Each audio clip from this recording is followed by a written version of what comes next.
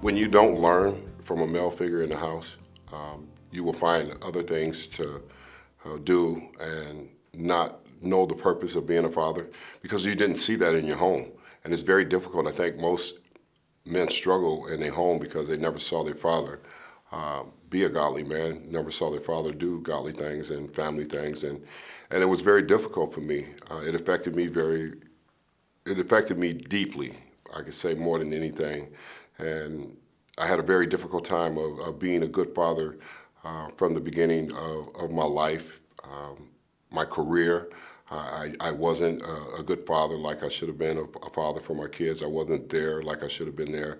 I was too busy uh, concerned about myself and, and my career and what I was accomplishing as a player instead of as a, as a man. Uh, and I think it, it left some scars in my kids. And we, it's a generational curse that goes down that we leave these scars in our children.